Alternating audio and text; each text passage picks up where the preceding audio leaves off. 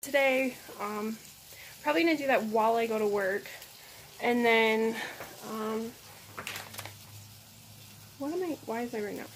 While I'm going to work, I'll upload my video and then when I get home, I'll do like the description, thumbnail and stuff like that. So, breakfast time. Sorry, we're getting our kitchen cleaned up if you find it quite messy. We're gonna get cleaned up and ready to kind of redo things, so but I'm making myself some breakfast. Also, if you guys don't follow me on TikTok, I'm also going to be doing 61 Days of Halloween on TikTok also. Um, yeah.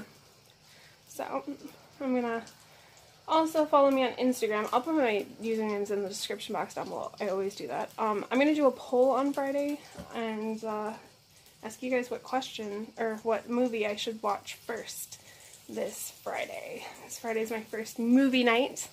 Um, and I'm excited. Alright, so I'm gonna get my food in my tummy. I am so hungry. I went for a run. I got a run done, which it kind of looked like it was gonna rain, but it hasn't rained yet. So, oh well. But two day streak, my running, oh, starting the September off right, and I'm so proud of myself.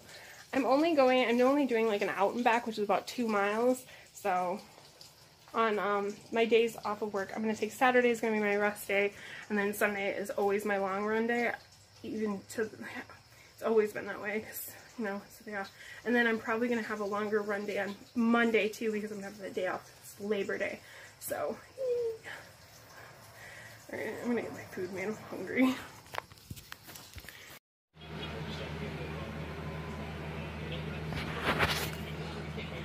I found her this is Bailey Sarian. She does um, murder, murder mystery and makeup. She does her makeup and she tells you stories about, like this one is on Elizabeth Bathory. If you don't know about Elizabeth Bathory, I definitely recommend either you watch Bailey Sarian's video or you do your research. This woman was, holy crap. Um, she believed the blood of the young made her young. Um, yeah, so she's definitely a fascinating, interesting, interesting, interesting stuff. Um, so I'm gonna watch her stuff, and then I've got some other stuff to do. So, yay! Okay, see you guys in a little bit. Alright, hopefully I don't have too much of a pink hue, but the boys, the boys, sorry my room is a mess, I'm currently working on cleaning it, and these guys are blurry as hell. Um, yeah, I'm to start my huge phase of, since I've completely destroyed my bedroom, and it's terrible, of um, reassembling my bedroom and making it somewhat of a doggy paradise slash my paradise. But, um, yeah.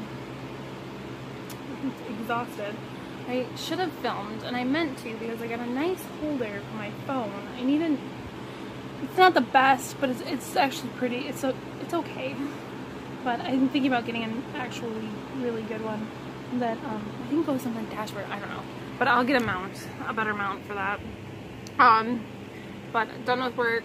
I have two more days until my three-day weekend, and yeah, uh, we're gonna watch some more Ghost Hunters, and yeah, not really do much. I did.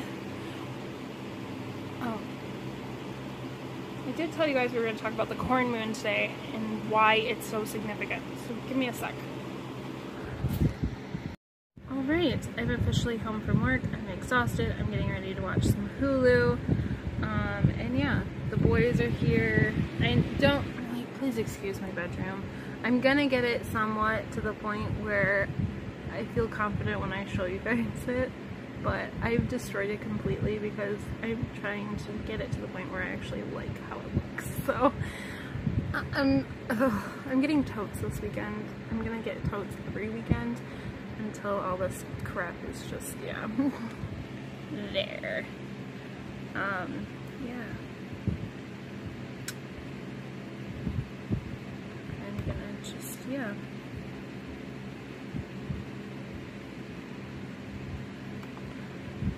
I'm home from work and yeah. Let's watch another two episodes maybe of Ghost Hunters.